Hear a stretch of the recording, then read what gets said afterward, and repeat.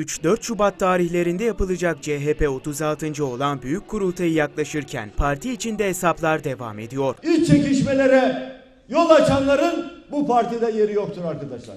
Onlar ayrılsınlar gitsinler. Genel merkezde parti içi muhalefet karşılıklı hamleler yapıyor. Önümüzde bir kurultay var. özüne dönmüş bir Cumhuriyet Halk Partisi. Ulusal kanalın edindiği bilgilere göre Genel Başkan Kemal Kılıçdaroğlu ve ekibi baskı kurmak için delegelerle tek tek iletişim kuruyor. İl başkanları aracılığıyla yapılan görüşmelerde genel merkez listelerinin desteklenmesi isteniyor.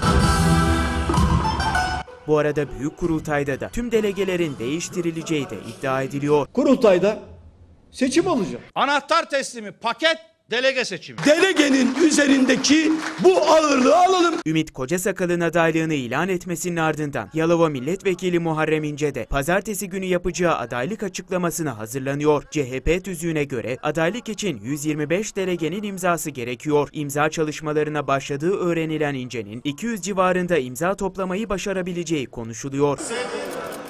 Parti içi küskünlerinde İnce etrafında birleşme eğiliminde olduğu öne sürülüyor. O zaman yapılacak bir tane iş var. Muhalefeti değiştirmek.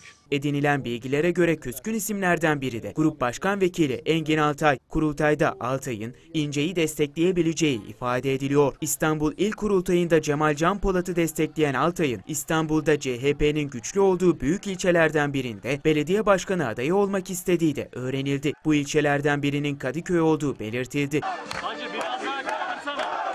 Ancak İstanbul'da seçimleri Canan Kaftancıoğlu'nun kazanması Altay'ın planlarını suya düşürdü. Edinilen bilgilere göre yeni yönetim Engin Altay'a mesafeli yaklaşıyor. Altay'ın Kaftancıoğlu'na tavır koymak için istifa etmek istediği ancak Kılıçdaroğlu'nun görüşerek istifa etmemesi için ikna ettiği öne sürüldü. CHP Grup Başkan Vekili Engin Altay'ın büyük kurultayın ardından yol haritasını belirleyeceği bildirildi.